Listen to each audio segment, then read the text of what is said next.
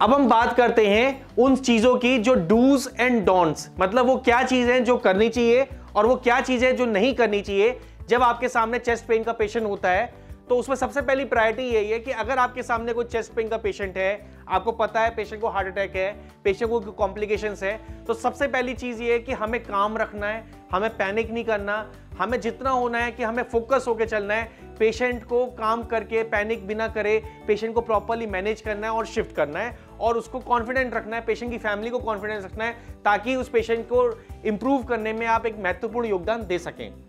दूसरी चीज़ क्या है कि जब भी आपको चेस्ट पेन का पेशेंट मिलता है, आप हाई सस्पिशियस रखिए हाई डायग्नोसिस करिए। आप ये मान के चलिए कि पेशेंट को हार्ट अटैक ही है और उसी हिसाब से पेशेंट को ट्रीट करें। अगर हार्ट अटैक नहीं होगा, अगर इसी चीज़ में फाइंडिंग्स में नहीं आता है तो पेशेंट को एटलीस्ट आप अपने आप ट्रीट कर सकते हैं। लेकिन अगर मान लीजिए हमने मिस कर दिया और हार्ट अटैक का पेशेंट है हम गैस लेके ही चलते रहे तो ऐसे पेशेंट की जान को खतरा हो सकता है और हमने अपने एक्सपीरियंस में देखा है, बहुत सारे पेशेंट इसी तरीके से मारे जाते हैं जो कि मिस डायग्नोसिस होने की वजह से हम गैस के दर्द के चलते ही हम अपने आप को खराब कर लेते हैं।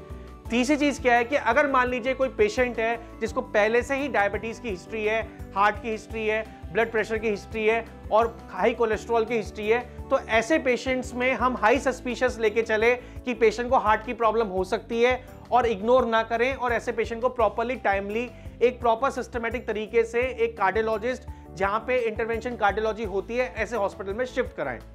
शिफ्टिंग के टाइम पे हमें ध्यान रखना है कि पेशेंट को किस प्रकार से शिफ्ट करना है वाइटल्स को मॉनिटरिंग करते हुए पेशेंट को लेके जाना है। गाड़ी में कैसे लेके जाना है, जो हमारी शिफ्टिंग की वीडियो है, उसमें आप प्रॉपरली देखिए। और उसके साथ साथ पेशेंट को पेशेंट के जो वाइटल्स है, उसको मॉनिटर करते हुए विंडोज़ को ओपन करके या अगर आपका पेशेंट पहले से ही प्रॉब्लम में है तो ऑक्सीजन सिलेंडर आपके पास होने चाहिए, ताकि शिफ्टिंग के टाइम में ऑक्सीजन के द्वारा पेशेंट को शिफ्ट करने में आपको योगदान हेल्प मिल सके।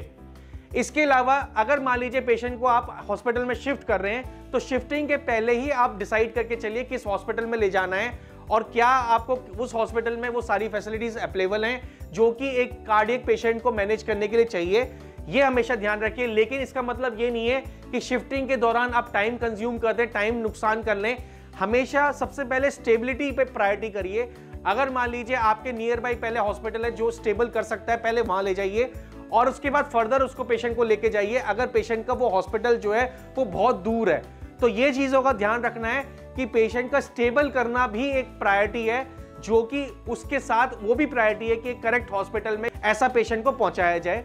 इसके अलावा जो अलार्मिंग साइंस हमने बताए हैं, उसको प्रॉपरली मॉनिटर करते रहें, ताकि पेशेंट को टाइमली अगर हमने मैनेज करवा दिया अलार्मिंग साइन के हिसाब से, और टाइमली शिफ्ट कर दिया तो पेशेंट के रिकवरी के चांसेस को आप बेटर कर सकते हैं। तो ये सारे पॉइंट्स को आप ध्यान रखिए ताकि पेशेंट के रिकवरी को बेटर कर सके और पेशेंट के रिकवरी के चांसेस को इम्प्रूव कर सके ताकि जो हार्ट की वजह से या जो वो लाइफ थ्रेटनिंग कंडीशन है, जिसकी वजह से जान को खतरा हो सकता है, उससे हम पेशेंट को बचा सकते हैं